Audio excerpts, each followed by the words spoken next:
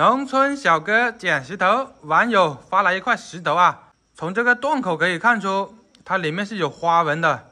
这个颜色它是粉红色，女人都比较喜欢这种颜色啊，粉色嘛。然后这个石头呢，它很冰透的感觉啊，从外表都可以看得出来了。这一头带了一点绿色的感觉。这个石头网友打算做印章，我们等下给它切一下，看一下能不能取印章啊。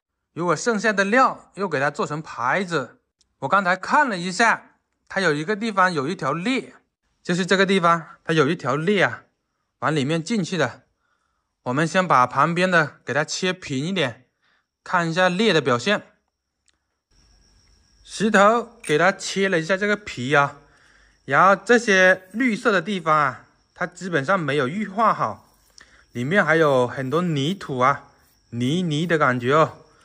然后把旁边的也给它去了一下，发现里面的花纹这个颜色啊，跟肉质还是很冰透的，颜色也可以啊。把这边的盖子给它掀了，然后发现里面它有一条夹纹，它也属于裂，就是中间这一条啊。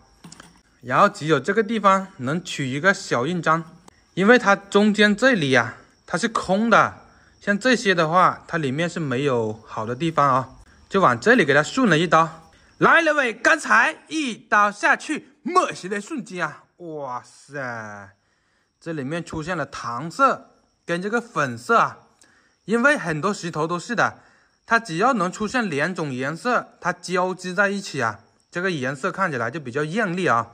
这个料子它非常的冰透的，这里还出现一个小小的玛瑙纹，有一个水晶洞，这个还可以避啊，再给它切掉一点就可以避了。然后现在这边的话，印章是可以出一个的，主要是它这个地方啊，它又有一点点的小裂，很小。还有这边这一条，这条是那条夹纹，白色这一条啊，它也是有点像一个小裂，因为看这个反光面的话，它没有合在一起。只要没有合在一起的纹理啊，它都是小裂的表现。大家觉得这种料子是出印章呢，还是出牌子？